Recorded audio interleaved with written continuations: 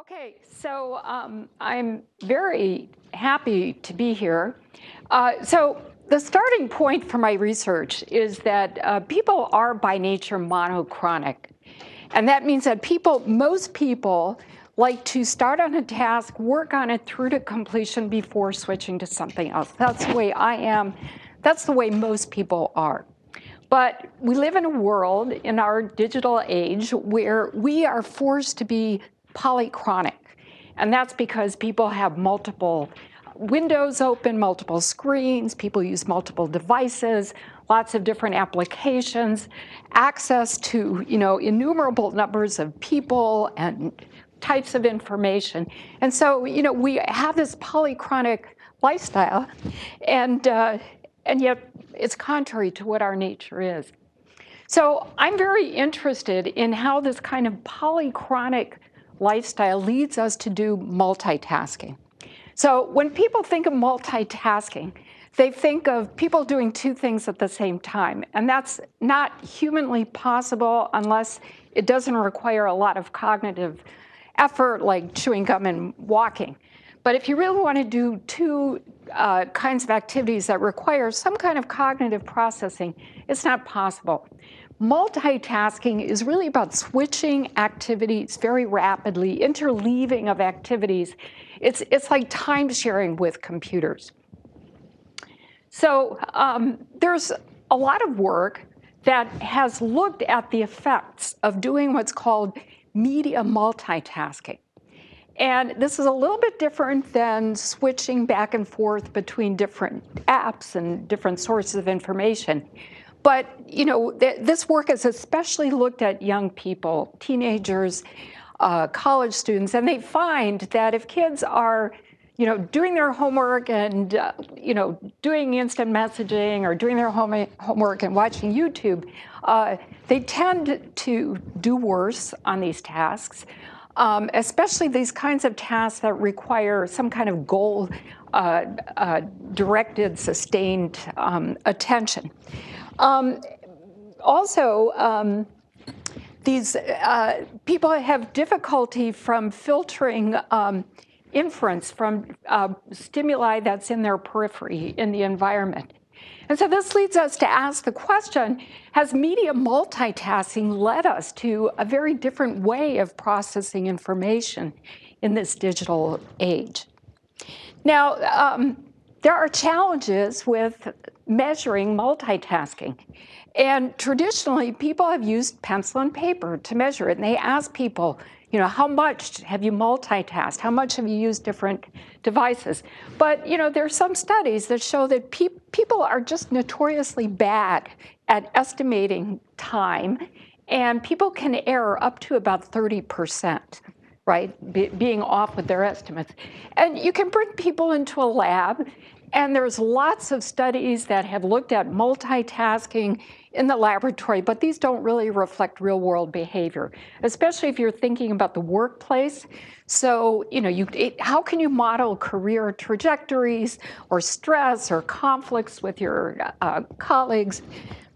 So, my perspective, and, and this, is, this is the approach that I take when, when I do research, is that to really study people you have to go where people are. And so rather than people bring people into a laboratory and you know set up you're creating an abstract model of the world which has its advantages because you can control variables but you go to where people are and you create living laboratories and that means that you study people in their natural environments and you try to do it as unobtrusively as possible so that's, that's the approach I take to um, in my research. And it enables me to ask questions uh, related to multitasking, things like how fragmented is our attention when we work with digital media? And how do you explain distraction with digital media? And uh, how, does, how does using digital media affect our mood? Okay. So um, I've been asked, well, haven't people always multitask? What, what is new about this? So, you know, I dug into the literature. And um, first of all, no one has ever examined people's use of digital media, at least to the level of detail that we have, where we, we look at what people do to the second. But what people have done is they've, they've followed people around in the workplace and they've looked at how people distribute their time over the workday. So we have some basis for comparison. So if you look at the, the two columns on the right, so this was a study done by Hudson and colleagues. This was done at IBM in 2002, a study I did with my student Victor Gonzalez in 2006. And um, these were studies when personal computing and email use were in widespread use in the workplace. And these other studies uh, were not. So we have some, some kind of point of comparison. And if you look at these two rows, the amount of time, the proportion of time that people spent doing desk work versus the proportion of time that people spent in formal face to face scheduled meetings, you see a difference there. And this Horn and Lupton study is a bit of an anomaly. So if you kind of, you know, put less weight on that study, what kind of trends do you see? Right? You see some trends? So there's two things going on. The first is the proportion of time that people spent at their desk nearly doubled, right, with the with the widespread use of personal computing and email. But also, people spend a much less proportion of their time in these formally scheduled face to face meetings. And if you put these two together, right, we can infer that a lot of the work that was formerly done in face to face meetings is probably now being done at the desktop through email, through desktop conferencing, through instant messaging, through a lot of other channels. So, my interest in going to where people are and studying what people do in their real world environments um, is uh, actually, it, it, comes at a fortuitous time because we're, we're living at this time where there's this revolution in the development of sensor technologies. And so I want to talk about two projects that involved using a variety of different sensors to understand people's behavior as they work with digital media. Um, the first project is the Health Sense project, where we've been tracking information workers. So we've, we've tracked over 100 workers to date uh, over multiple days, about two weeks. Uh, with a variety of different sensors. Uh, the second project I will spend less time on, but I'll just say a few words, and that's the Millennial Project. And that was looking at college students, where we tracked 124 college students, uh, you know, in their normal college life, and we tracked them for seven days. Now, the grand challenge of doing this kind of work is that, you know, if you, if you were to do ethnographic work, right, you get a good sense of the how and the why of what people are doing, right? You can take a, a deep dive into context and you can understand the context. When you're using sensors, you're getting different bits of information, disparate bits, and you have to somehow combine these bits of information. Now, it's pretty easy to measure stress because we have devices, wearables that can uh, measure things like heart rate variability, and, and you can understand stress. But how can you understand a very broad construct like workplace performance or organizational citizenship through sensor information? And at the very, very end, I'm going to talk about a project I'm working on to, to try to get at that. But I, I see that as being the grand challenge. So I, am going to present results of, uh, of a, a uh, number of studies that we've done uh, but I want to go through the measures with you so that you get a sense of how we collected the data. So uh, we measure stress uh, through heart rate monitors. We, we also now use our wrist wearables. Uh, you measure what's called heart rate variability. We've also measured uh, electrodermal activity using Affectiva Q sensors. The newer version is called Empatica. Uh, we measure mood and people's focus through experience sampling. I'll talk about that a little bit later. Uh, we measure face-to-face interaction using sense cams. That's this, this picture right here. It's, it's a very small, lightweight camera, and it takes continual photos about every 15, 20 seconds, and then you apply software face detection on it to determine is there a face present or not. So you can infer, at least, if someone was uh, near another person. And it has very high accuracy in face detection.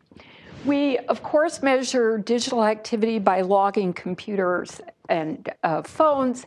Uh, we do activity tracking. We have people wear actigraphs, uh, Fitbits, or wearables.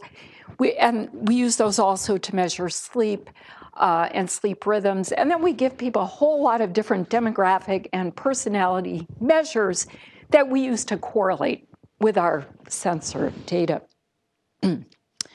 so I want to start off by telling you what we can learn about people uh, through very simple information that we can collect.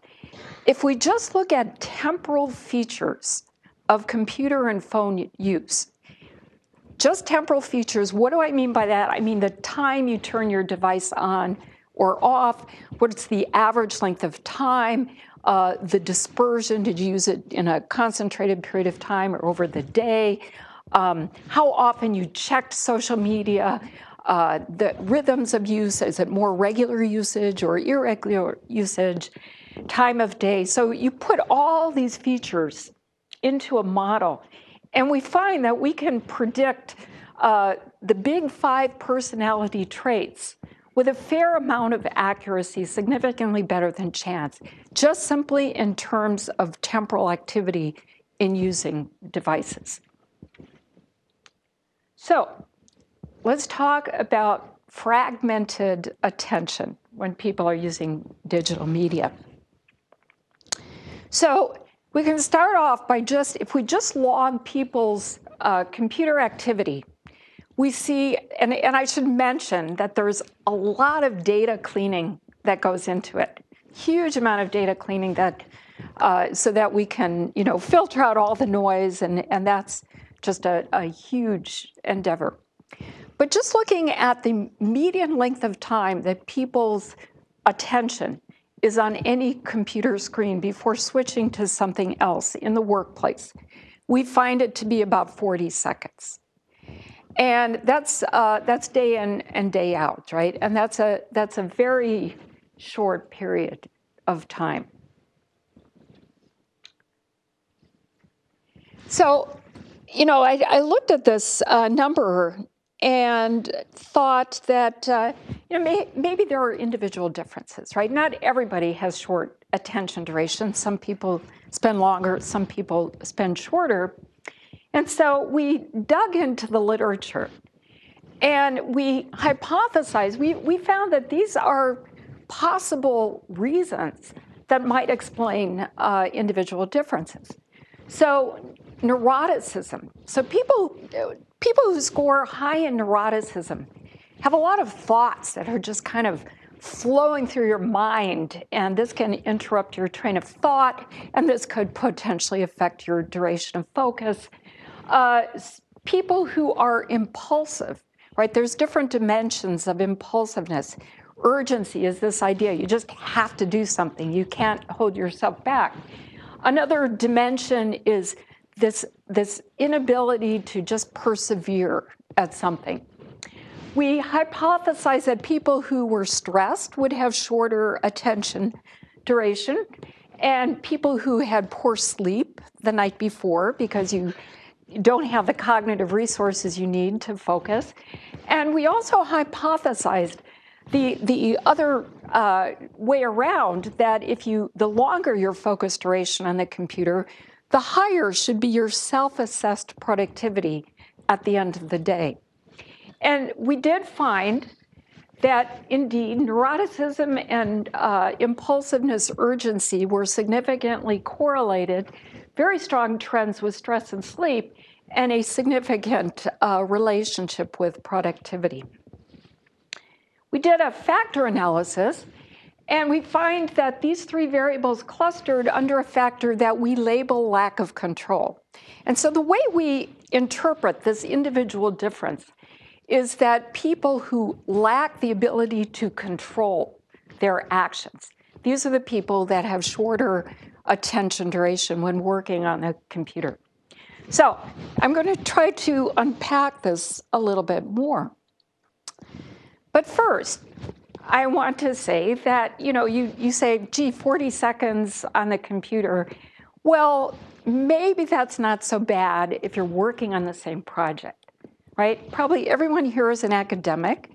And when you're writing a paper, because we're in the business of writing papers, You'll look on the internet, you'll type in a Word document, you go on email, you talk to colleagues, but it's all the same project. So, so what that your attention is short on any kind of one of these micro activities? So, this is actually from earlier work that involves ethnography, where a student of mine followed people around with a timer and tracked every person's action to the second with a timer and took notes about context and found two things. First of all, people work in an average of about 12 different projects. And we call these working spheres, sphere of work, which is a little bit broader than the notion of project because it could be personal uh, projects as well.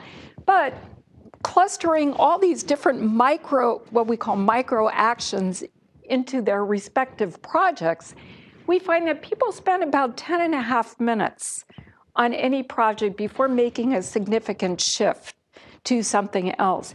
And for information workers, that's not a very long time, right? Because it takes, I mean, at least I know if I try to do something, it takes me probably 10 minutes just to try to get started to go into depth if I'm reading an article or writing something, and then I'm switching to something else.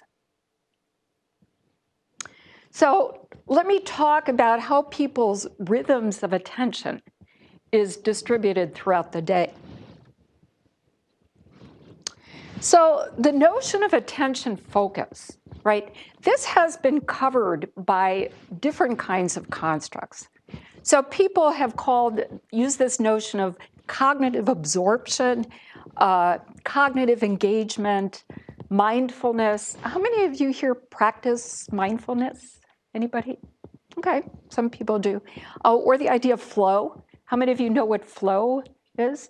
Okay, this is, um, uh, oh my God, it's going to blank. Csikszentmihalyi's notion of flow, where you're so immersed in an activity that you become completely unaware of the passage of time. Okay, so all of these concepts have to do with attention focus.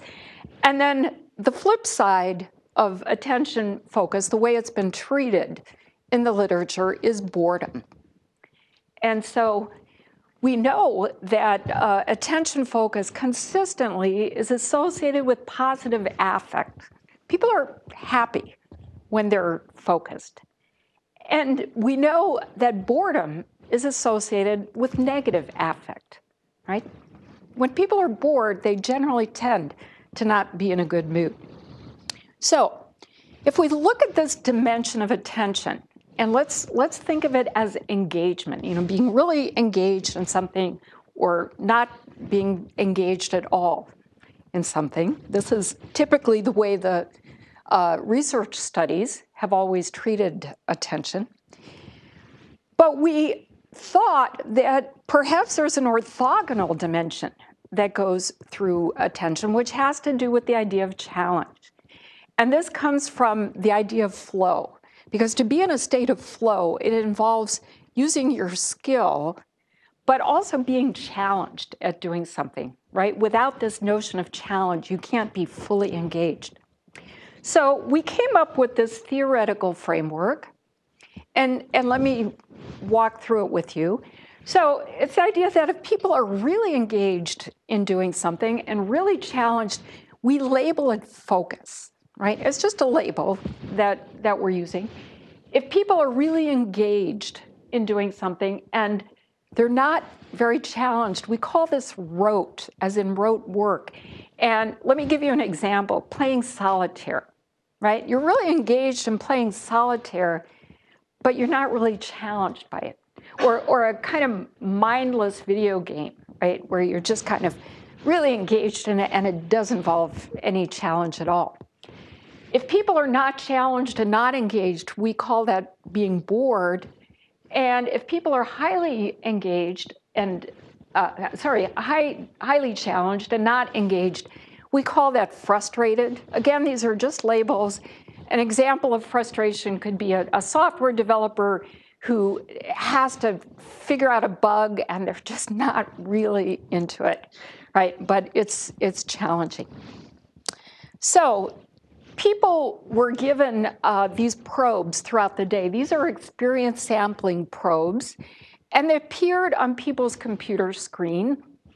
And we asked them to rate how they feel right now. Uh, this top part of the screen is Russell's circumplex model of mood, where we're getting a, a measure of people's mood at this point in time. And then down here, then it asked, did you just have a face-to-face interaction? And then down here, we asked people, how engaged were you and how challenged were you in the thing you were just doing? We trained people on this beforehand, and they were able to answer this probe in about maybe two seconds or so, two or three seconds. Um, people were given these probes uh, about 18 times a day. Uh, the irony does not escape me that we interrupted people 18 times a day, but we got terrific data. So remember that attention is associated with positive affect. Okay, so we find that people are actually happiest when they're doing rote work, this kind of mechanical, mindless kind of work. That's what makes people happy, right, in, in the workplace. People are uh, less happy when they're focused, and then consistent with all the, the research, people are least happy when they're bored. Yeah? Um, so you interrupted people, you know, every 45 minutes or something like this is that, given that you said that people switch kind of areas they're working on every 10 minutes, does that make it harder to get the data about what's going on at each of those, or do these kind of affect attentional states kind of stay consistently for a long periods? This. Um, so we actually had this kind of hybrid heuristics that we're using to introduce these probes. So we were particularly interested in capturing mood and attention like right after Facebook use and right after email. And so we we tr- no no no. It's context dependent. That's right. That's right. And then when people unlock their screen, uh, we, we would ask them, and then if they had an interaction, we, we would know about that interaction. And when they submitted these uh, probes, we would get timestamps so we could sync that up with all of our other data so that we could try and make sense of it. But that, thank you for the question. So this is what uh, the rhythm of people's attention focus and different attentional states look like over the course of the day over our participants. And um, there's a few things about this that I find interesting. First of all, people's peak focus is about 11 o'clock in the morning, late morning, and about 3 p.m. So it's not like your focus is continual throughout the day. Um, being bored is somewhat of a, a, a uniform distribution, uh, sort of. Um, but what I find interesting is that people don't come to work ramped up and ready to go, but it takes some time to ease into the work, right? To, to get into their work, right? They're, they don't hit the ground running when they come to the workplace. Yeah study who are the workers, what kind of situation? So these are information workers in a high-tech company located in the Pacific Northwest. Yes. Another question, when do these workers tend to arrive at work? So when are they ramping right. up from? Right, that's a great question. We put a lot of thought into that and we kept going back and forth, should we kind of normalize depending on when people came? And then we decided that because there's because interaction is an important component of the workplace, we would actually do this uh, according to the actual time, So if someone, you know, a few people came to work at seven, um, but you know, most people were in the workplace nine-ish or so, right? But we we kept going back and forth. Should we normalize it as to the first, you know, and call it first, second, third hour?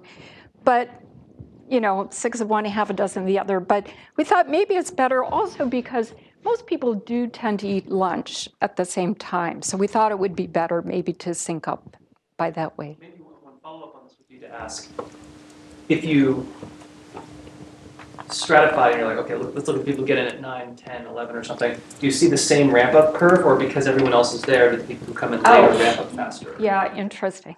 Yeah. That, uh, we, we have not looked at that, but that's super interesting to look at. Yeah. So um, I want to talk about work that was done with Alex Williams, who was a, an intern at MSR.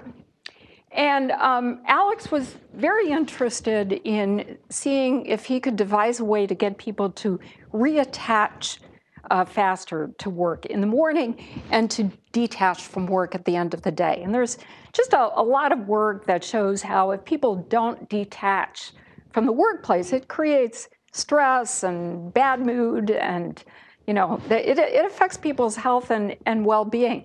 And so he designed switchbot which was a chatbot uh, that had there were actually two conditions. So people used switchbot.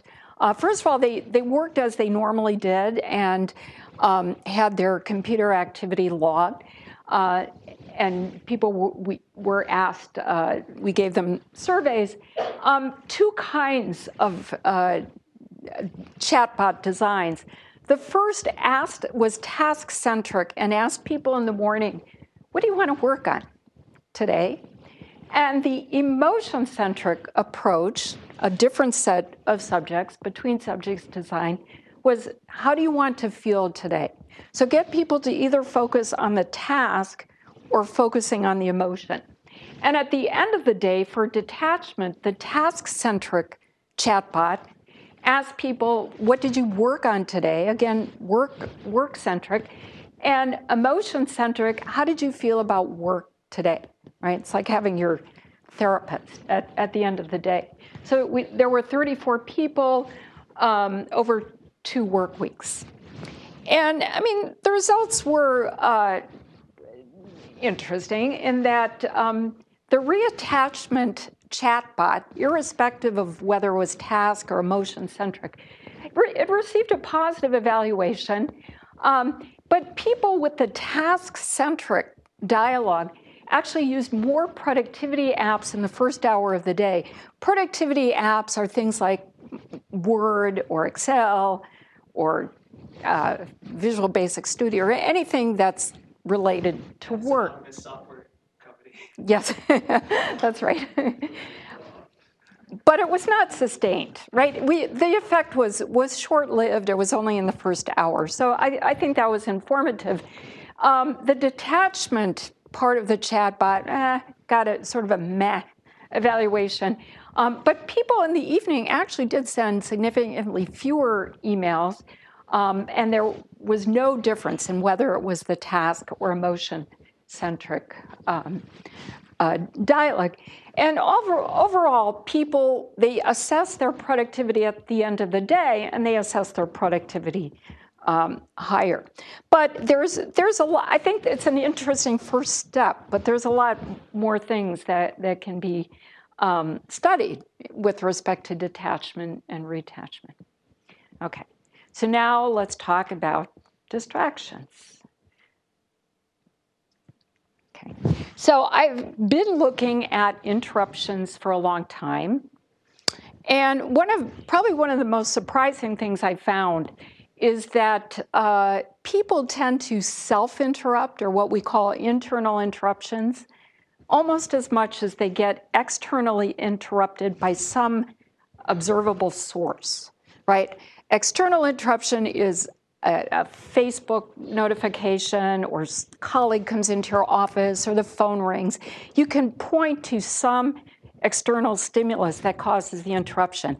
An internal or self interruption is, is really interesting to watch. You're, you're, as the observer, you're watching someone, they're typing in a Word document, and they suddenly stop and they check email or they stop and pick up the phone, right? There's no observable or explainable reason, uh, reason for the observer for this behavior.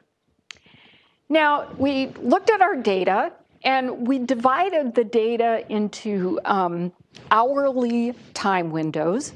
And we looked at the relationship of external and internal interruptions in each of these hour long time windows. And we found something really interesting that when external interruptions waned, what happened was that internal interruption started to kick in, right? And it's as though, I mean, the way I interpret this is that if your people are conditioned to interrupt, and if you're not getting interrupted by some external source, you interrupt yourself because people are just conditioned to have short attention spans and they're going to they're going to cut off what they're doing change their activity one way or the other if not from an external source then from an internal source so that's my my interpretation of the data now, people have studied interruptions, and there's this assumption that people in the workplace, they work really hard and they're really focused, and then along comes a distraction like a Facebook notification. They go to Facebook and then they get really bored. But we wondered if maybe it's the other way around.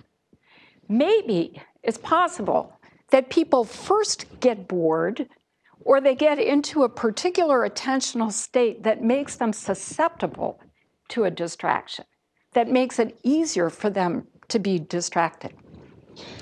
So, we looked at uh, some common time types of interruptions based, based on our data. It turns out that 40% of interruptions are from some form of workplace communication.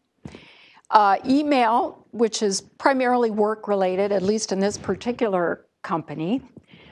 Face to face could be either, could be work related or social. Uh, and Facebook is primarily social interaction. And to give you kind of an overview of how people spend their time in these workplace uh, communications, we see that um, with Facebook, people average about 21 times a day that they check Facebook, email about 74 times a day. Actually, the high person in our sample was something like 435 times a day checking email. Uh, but they spend, they tend to spend relatively short periods of time. So people check Facebook, but they only spend about 18 seconds and then go back to work.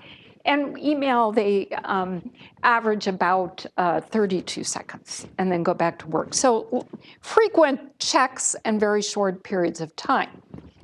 So this is the way that we looked at our data. So we had this experience sampling probe, we had the timestamp, we had how people assessed their attention in terms of engagement and challenge, and we looked at the duration of time that people spent in Facebook, face to face, and email.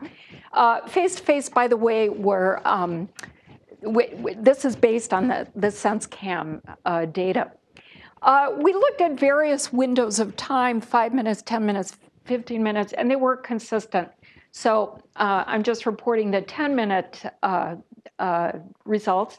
And of course, we had to control what people were doing prior to the probe, right? So here's what we found we found that when people were in a focused state of mind, they worked significantly longer on email. When people were either bored or doing rote work, we found significantly more face to face interactions. And when people were doing rote work, we found significantly longer Facebook use. So there seems to be a relationship uh, between people's attentional state and what they're, they're doing after. Uh, so it took me six years to find a field site that was willing to let itself be cut off from email for a period of a week. Uh, and the, actually, the way I got that field site is, is a really funny story that I'm happy to tell sometime, maybe over beers. Uh, but finally got the, the uh, field site, and uh, we had people wearing heart rate monitors to measure heart rate variability, stress. We logged their computer activity. We measured them for one baseline week, and then they cut off uh, email for a period of a week. And we hypothesized that their stress would go down. Yeah. know when that was gonna occur, like, so Yes. that changed the behavior in the baseline week, like, oh, I gotta get this stuff done and Oh. something to be cut off next week.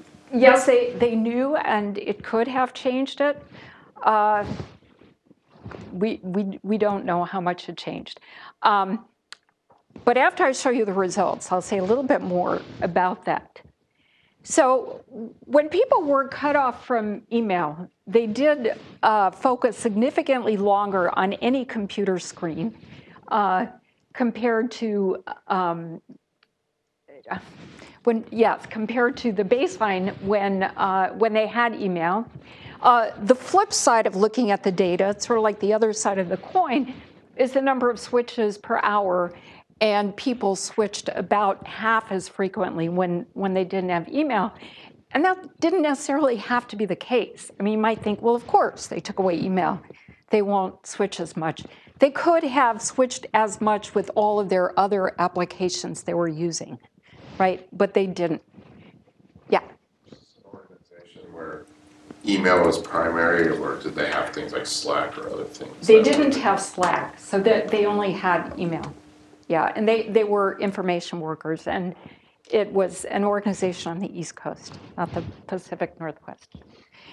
Uh, stress was significantly lower. You're, you're looking at this number and saying, wait a minute, but this is a higher number. And that's because heart rate variability, uh, the higher the variability, the more relaxed people are. And that's because if you're really relaxed, the least little stimulus is going to make you jump and affect the variability. And if you're really stressed, the variability of your heart rate, the, the time between consecutive heartbeats, it's very regular, right? You're in this kind of fight or flight uh, syndrome. And so we found people were more uh, relaxed when, uh, less stressed when they didn't have email. Now, to James, to your question, we actually expected that when email was first cut off, people would become more stressed, right? And then we would see a decline. But it was all over the map. So there, there was no particular regularity in people's um, behavior. So if people were affected by the cutoff, you know, it's we we can't say, but we we can say that we did see this uh, for some people. We we saw this abrupt change when it happened. Almost the opposite, whether, like, you would see more stress and more email switching, like, in the days before the switchover. Oh, I gotta see. do this stuff, because, you know, I'm not gonna have email next week, I better, oh, I got that important email from Michael, I better take care of it, right? Right. Would Well- be like a, a fact, like you're about to go on a trip, you know, you Right. gotta get all this stuff done. Right. So, um, first of all, there, there was a significant difference between baseline and uh, cutting off email. So, if the stress went up, there, there was still a significant difference. Um, people were allowed to contact other people, but they just couldn't use the email. And that was another interesting thing, was that people could have just walked down the hall to talk to someone in person, but they just didn't. For, for many of those cases, they didn't. Um, some people did. Um, one person, this is really interesting, um, he reported that his manager would always give him these little tasks to do. And he couldn't get any work done because he'd get an email from his manager that he had to respond to because it was his manager. When the email was cut off, his manager could have simply walked in and delegated face to face these tasks, but he didn't. He just stopped. So there was, the, you know, that's an interesting case of email being used to, to delegate work. So, um, we asked, yes, measure if there was some sustained effect in the next week? Unfortunately, we didn't, right? And that's something that I wish we, we would have done, right? So we did interview everybody, but we, I, I wish we, we would have. And you know what I suspect? What my best guess is that there would be no change. That's what I think. Uh, so we asked the question how does, um, what's the difference between social interaction that's online and offline? Offline meaning face to face. What makes people happier in the workplace? Right? It's an important question because mood and positive mood in the workplace is associated with motivation and quality of work and productivity. So by uh, online activity, we looked at Facebook because at this particular organization, Facebook was the primary online uh, social interaction tool that people used. And we looked at two different time perspectives. And the first perspective is comparing people's mood, positive affect, at the time the interaction occurred. Now, how many of you think that people were happier right after doing a face to face interaction compared to Facebook? How many of you think happier after face to face? How many of you think people were happier after doing a Facebook interaction? Nobody. How many think there was no difference? Okay. Uh, the answer is face to face. So people were happier. The second time perspective we looked at is people's happiness at the end of the day. We asked them to reflect back over the day and, you know, how, how happy are you? You know, you're leaving at the end of the day. This is important because there are carryover effects of workplace mood to personal life at home. Now, how many of you think people were happiest at the end of the day the more face to face interaction that they had during the day? Okay. How many of you think they were happier the more time they spent on Facebook that day? How many of you think there was no difference? How many of you don't know? Okay. Fair, fair enough. Uh, so it turns out that the answer is Facebook. That the more time on Facebook, the happier people were at the end of the day. Now, this was puzzling for us, so we went back and dug into the data. And here's what we found we found that there was this very strong correlation between using Facebook on that day and reporting that they were engaged in their work.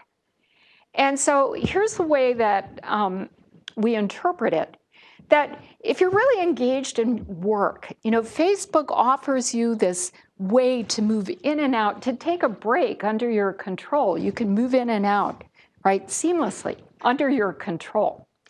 The last thing you want to do if you're engaged in your work is to have a face to face interaction because you are a prisoner of that interaction, right? You're working really hard on something and you have to do this face to face interaction. There's a greeting ritual and the interaction and the parting ritual, and you can't gracefully just leave. So we think that um, Facebook offers this, what we call grazing behavior, when people are really engaged in work. So we wanted to see what would happen if we blocked distractions. And there's a lot of commercial software out there that people can use um, to block distractions, and, but it had not been empirically tested. So we decided to do that. We did a field study. We had um, 32 information workers. We used a commercial uh, software called Freedom, uh, measured five days of baseline and five days when they had their online distractions blocked people could choose what it was that distracted them and what they wanted to block. And this is just a rough approximation of what was blocked. Most of it was social media, but they also blocked news sites, uh, eBay, shopping sites, and so on. So, using uh, the cognitive absorption scale, which is a, a well validated scale of attention focus, we find that with this blocking software in use for a week, people's focused immersion in an activity significantly increased. Uh, temporal dissociation means you're so immersed in something you're unaware of time passing. That actually decreased. That means people became more aware of time. Uh, there was no difference in their feeling of control, which really surprised us. Uh, their enjoyment decreased while we took away their social media, and uh, there was no difference in curiosity. So we interviewed people afterwards, and the reason that they reported why focus increased, first of all, uh, we removed attention residue. So when you take care, when you look at Facebook or do an email, and you come back to your work role, you still have this residue from that interruption, right? This this kind of part of your attention is still focused on that interruption, and that was removed. But we also stopped chains of distraction. People reported you don't just check Facebook or check a news site on the internet, but you go into this rabbit hole of distractions, and we took that away. So then we looked at the data to try to figure out well, why didn't we see a difference in control?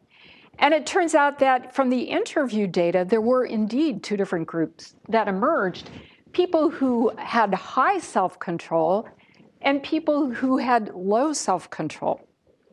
And when we looked at, we had measured uh, the big five personality traits, and we found that people who, uh, through the interviews, came off of, as having high self control scored significantly higher in conscientiousness and um, significantly lower in this impulsivity trait of lack of perseverance. So we had some, some validation from the interview data.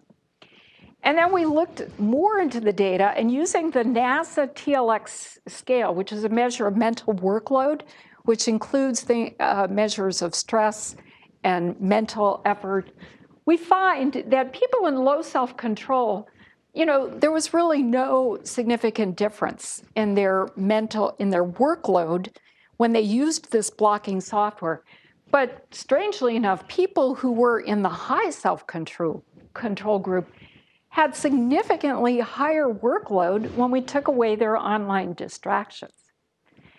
And so, you know, in going back into the interview data to try to explain it, it seems that, you know, these are conscientious people and they don't take breaks. They just worked straight through, right? They could have taken physical breaks and gone to the coffee room, and they didn't. They just stayed there. They didn't have their online distractions to, you know, to take a, a quick mental break under which they would have control and were able to get back to work. Right? One person missed her shuttle at the end of the day, which had never done before because she was just working straight through. Um, there are opportunities for improving work experience from this uh, data. First of all, thinking how to balance rote and focused work. If we know that rote work is associated with people being happy, we have to think about how we can balance that throughout the day. Uh, and also scheduling work based on attention patterns. I mean, we showed you this just this overall view, but there are personalized patterns of attention that could be looked at. There are times when people can be very focused and other times not. We can uh, design interventions to increase focus, reduce stress, and improve mood. And I have a project working on that now. And uh, we can uh, block distractions for people who are have low control, right? So it's important to consider uh, individual differences. So I was going to talk about the millennial generation, and I'm running out of time, but I will just present one result here, and that has to do with sleep, because college students are notoriously uh, bad with sleep. Uh, and so what we did was we looked at, you know, there's a lot of studies that look at the effect of using technology on people's sleep that evening. And we asked the reverse question How does people's sleep uh, quality the night before affect what they do with digital media the next day, right? And here's what we found we looked at sleep debt. We figured it doesn't make much sense to just look at a single night of poor sleep because habits are hard to change. But what happens when poor sleep accumulates over days, right, then you accumulate sleep debt, right? You get more and more tired. And we found a significant relationship that the more sleep debt that people had accumulated, the more time they spent on Facebook the next day. And that's easy to explain because Facebook is lightweight, does not involve cognitive resources, right? So it's something easy to do if you just lack these, these mental resources. What's the DV in this regression? Uh, the, the, uh, Like four point one seven what's the coefficient here? So it was Facebook duration, I think it was seconds. So per switch, they're spending four seconds longer on Facebook, something like that? Ish. Let me, let me look. Okay, sorry, yeah. Sorry, that I, um, I think it was seconds, I think, I think. But let, let me What's the, get back to where did the paper show up? I'm, I'm on- It's at CHI 2016. Okay, cool, thanks. But let, let me get back to you because um, sleep debt was not measured in terms of seconds. Right, so like, what's a unit, what's a of sleep debt, and it's, yeah, that's, Uh, the sleep, the, I'm trying to think about like, in, you know, in sort of an ipsatized sense, like, if I'm one standard deviation sleepier. yeah, exactly. um, let, let me, Yeah, of course, I have no to look that up, sorry. Um, I'm too interested in this. oh, well, that's good. But I, I will look it up because um, you caught me and I can't remember what. Um, but I, I, I mean, I remember the, um, that This Okay. Is what you say, read my paper, cite my paper. So- So um, now I'm going to put on my psychologist hat, which um, which I, I really like to do. And um, you know, how do you explain all this? And so this, this is the idea. This is what I think about. Um, you know, there's a long history in psychology that it's very consistent and talks about how people strive to maintain a, a kind of inner balance, right? This kind of balanced emotional uh, and psychological state. Um, Hippocrates talked about with, with the body harmonious balance. Gestalt theorists talked about the law of Prägnanz, where you have this unified uh, theory of perception. Uh, my favorite psychological theory of all time is Kurt Lewin's field theory, which is that our ultimate goal is to reduce tension in our lives. And every action we do is designed to reduce our tension. And of course, you, you know cognitive dissonance theory. And so, you know, this is an idea that I work with that maybe people adjust their use of digital media in order to achieve an internal balance when, when they're working at it. So, you know, when things become too stressful, perhaps they switch to, to something else to try to balance this out. Uh, very quickly, I want to talk about what I'm currently working on. Uh, the Tesserae project, very excited about this. It's, it's the same idea of using sensors to predict uh, workplace experience and to, in particular, organizational citizenship, organizational deviance, task performance, um, stress to the point that it gets to burnout. Um, and our target is to measure 750 workers over a year. Uh, to date, we have about 250 people enrolled, uh, but I hope we'll get close, if not achieve 750. Um, and we have a, a, lot of different sensors that we're using, you know, wearable devices, um, beacons, so that we can look at uh, location, phone agent to see how people are using their phone. And we're also looking at people's uh, social media use. And I do want to stress uh, we are very concerned about privacy uh, of our participants. And you can look at the URL for more uh, information. Uh, this was, work was done uh, with the collaboration of a number of really incredible people that I really need to, to give them credit for this work. And I would like to thank our sponsors, but also our participants. Thank you.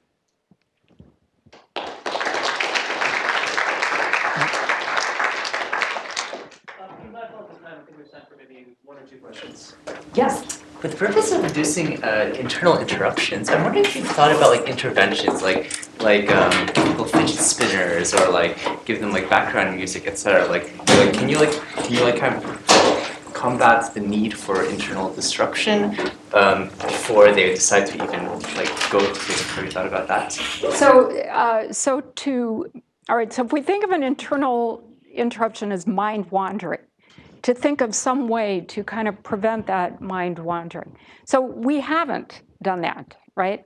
That that's a, I would say that's a grand challenge. That's that's going to be really hard to do, but uh, would be really great if someone were able to achieve that, because it, that it's really it's hard to measure mind wandering. Um, but if there's a way that you can, you know, find a way to um, get people to focus and prevent it, that's that's the million dollar question. I think you had previously mentioned to me the idea of when you think they're going to have to do some internal interruption, intercede with some other less bad internal interruption. So you're still doing something, but you know it's not quite as disruptive. Yeah, that's interesting. So more closer related to the context of your work. So my question is, what about the difference between volitional and non-volitional interventions? Like, can we intervene without people even realizing that they are being intervened? Should we do it? Because it seems like part of the challenge here is this like, you know, engagement, but there's Yeah. also a challenge of like, you know, developing a new habit. So maybe we need to develop interventions that might not even like depend on your will to do it, but maybe just force you Like nudging. yeah, Nudging. even like maybe just like allow you to change your breathing by changing some kind of like maybe your temperature in the room such that you start breathing out different pains. Something like that that you don't even realize, you just keep working. Yeah, I, I think there's just a lot of room in this area for um, for experimentation, but um, but I, I really love that direction. Yeah, yeah. Final question, please. Yeah, just, you mentioned that people feel better when they do sort of rote work. I'm just curious with the increase in automation and concerns about that, how we can keep people, I guess, engaged at work and happy, but still, I guess, not, you know, totally replaced by, by software machines. Right. So there there does need to be some uh, in, intellectual type of work. You can't just have people doing this kind of mindless work. I think I think it would be really interesting to think about. Uh, what the right scheduling is, right? The, the rote work can offer a kind of respite, right? Focus uh, is also associated with stress, we found. So you can't, I mean, it, you don't want people to just focus continually throughout the day, but you really want to have some kind of balance, right? Automation might move the balance uh, right to the other way where people are just doing this kind of work. On the other hand, you know, people are arguing that automation will free people up to do the intellectual work, right? And let the machines do the rote work. And, and maybe this is what you were getting at that you know, would people be less happy if we're taking the rote work away? I don't know. That's a good topic for a study. All right, let's thank our speaker one more time. She'll be here for a few more minutes.